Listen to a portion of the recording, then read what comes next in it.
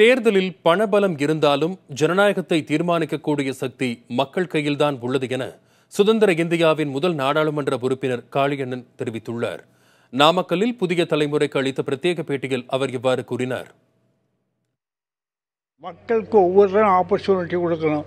அவன் பெர்ஃபார்மன்ஸ் எப்படி இருக்குதுன்னு வச்சு முடிவெடுக்கிற டிசிஷன் ஜனங்க கையில் இருக்கு அஞ்சு வருஷத்துக்கு அவன் எங்களை இந்த நாட்டில் கூட இருக்கணும்னு சொன்னால் அவன் இன்னும் நம்மக்கிட்ட கூட இருந்து நம்மளோட தொடர்ந்து இருந்து பல காரியங்களை செஞ்சிருந்தால் நாங்கள் உனக்கு ஓட்டு போடுவோம். அந்த அளவுக்கு மக்கள் நினைக்க தயாராக இருக்கலாம் ஆனால் ஜனநாயகம் நல்லா இருக்கிறது குறைவே கிடையாது.